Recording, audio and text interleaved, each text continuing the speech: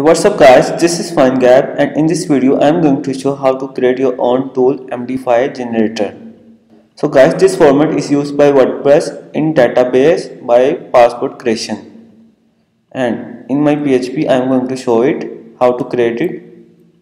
So guys this is my text field and this is my submit button as you can see there and I am checking if button is submit or not and after that I am getting value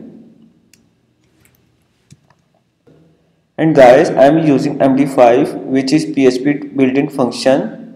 And then I am also using SHA1 which is also a built-in function of PHP and also base64 encode which is also a PHP built-in function.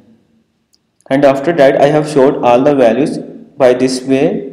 First MD5 then base64 and then SHA1 so let me show you an example. And I am going to generate it. And guys as you can see it has generated MD5 base64 as well and SHA1 as well. So guys these three are encoded formats in PHP and by this way you can create your own tool. And guys if you find my video useful don't forget like subscribe and share. Thanks for watching